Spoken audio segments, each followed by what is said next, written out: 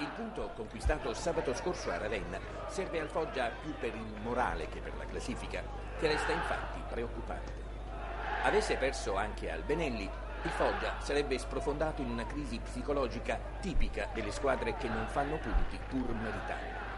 Anche con il Ravenna, infatti, come era accaduto con la Ternana, il Foggia, riveduto e corretto dopo il mercato di riparazione, non è dispiaciuto.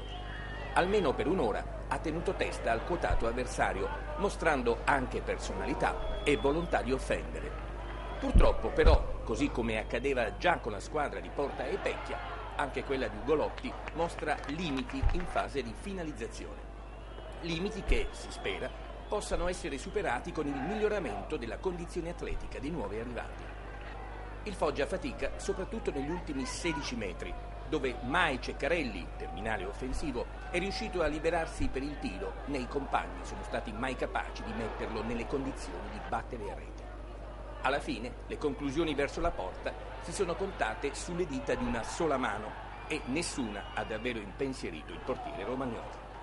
Viceversa Bindi, protagonista in negativo con la Ternana, è stato decisivo in almeno due circostanze nel finale di gara quando il Foggia, ridisegnato anche nel modulo da Ugolotti a difesa del pareggio, ha stretto i denti per tornare a casa imbattuto.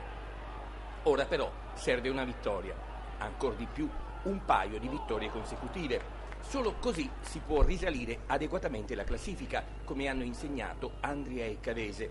Classifica dove il Foggia ha fatto un piccolo passo avanti che gli ha consentito di scrollarsi di dosso il Pescina, battuto nel recupero di Rimini, e di avvicinare Real Marcianise e Giulianova.